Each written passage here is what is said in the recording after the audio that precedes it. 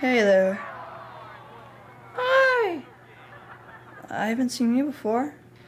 Yeah, I just moved here. I'm new. Wanna hang out or something? Um, Cause I have a feeling we're gonna be best friends. Things can get pretty ugly when you're bored. In an after school program, you can find something way better to do.